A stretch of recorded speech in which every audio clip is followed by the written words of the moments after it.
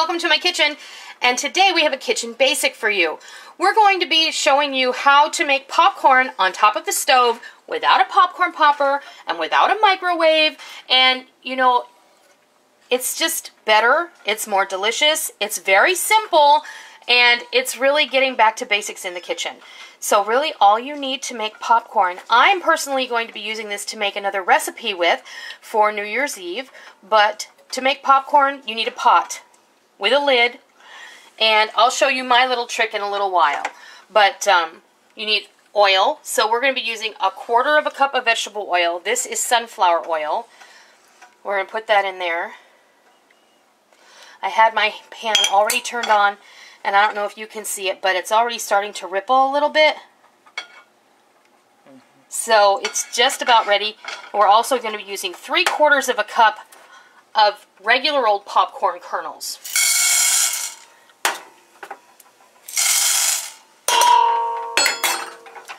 I'm going to give it a little bit of a swirl just to make sure everything is coated with some oil. And then what I like to do is I like to take a splatter screen, and put it on the pot, and then put the lid on the pot. Now the reason for this is because I'm going to be using this popcorn for uh, caramel corn. And you don't want the steam to build up in there and make your popcorn soggy. So this eliminates that problem because when that when you put the lid on it, the steam builds up and then it condenses down and it kind of rains on top of your popcorn. So in order to alleviate that problem, you need to release the steam from the pot. This is the easiest way I have found to do that. It also prevents a lot of injuries because sometimes if you don't use the splatter screen, you just do this, Number one, you're going to have popcorn flying all over your kitchen, and you do run the risk of getting splattered yourself on your tender skin with hot, sizzling oil, and nobody wants that to happen. So, don't do this naked. And don't do this naked, just like frying bacon. Don't do that naked either. Um, you're just going to let this hang out. You can hear it sizzling, and um, just We'll come back in a minute when this has started to pop vigorously and I'll tell you when you're ready to pull it off of the burner. Okay, we have started to pop somewhat vigorously and you can see in there. You're going to be able to tell when it's time to pull it by the sound that it's making. You can tell that it's really getting ramped up in there and things are popping away very nicely. But you also need to use your sense of smell because nobody likes burnt popcorn, especially if you have an electric stove. You're going to want to occasionally just lift it off the burner so you can only use residual heat. I promise you it's still going to pop fine. And put it back on when it starts to slow down a little. If you're my age, think back to that old-fashioned Jiffy Pop.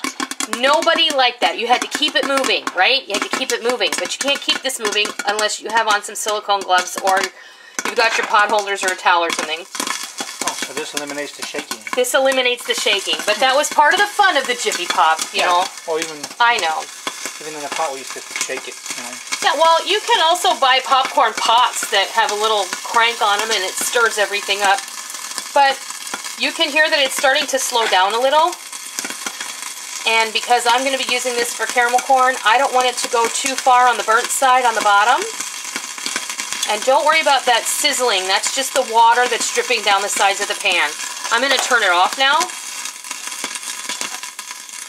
And just let that popping subside. I'm going to move it off to a cold burner.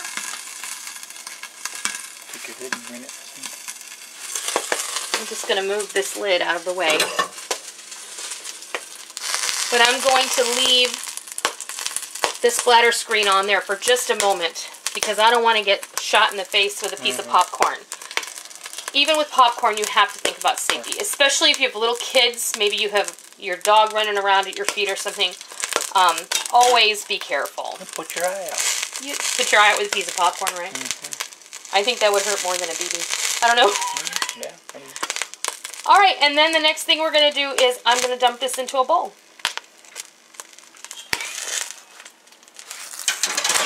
I'm just going to bring it over here. And I'm going to throw it in a bowl. And because I am using this... No burnt. It's not burnt. Not one burnt. I do have some Old Maids in the bottom. And for those of you who don't know what Old Maids are, they're unpopped kernels. And I'm just going to make sure that none of those come in here. You can see them now.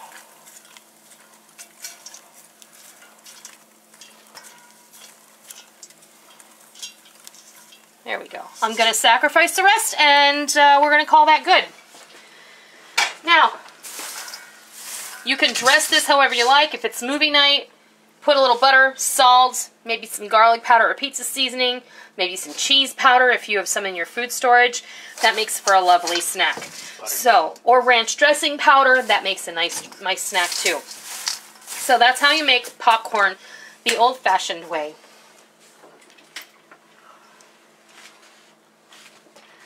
In a pot on top of the stove. It's super easy. We all have the equipment to do this, seriously. You don't have to have a big pot. Just make a smaller batch if you have a smaller, a smaller vessel to cook it in. It's really no big deal. So I hope that that helps. I hope you learned something. I hope you try it. I hope you love it. And until next time, I'll see you. Thank you for joining me in my kitchen today. I hope you liked what you watched today, and I hope that you try it, and I hope that you love it. Um, if you like what you saw, please consider hitting the thumbs up button and giving me a positive rating. And also, make sure that you hit the subscribe button if you're already not a subscriber so that you don't miss out on any of the fun we have here in our kitchen every single day. I hope that you enjoyed it. I'm really glad that you're here. Thank you for stopping by. Don't forget to come by tomorrow. Until next time!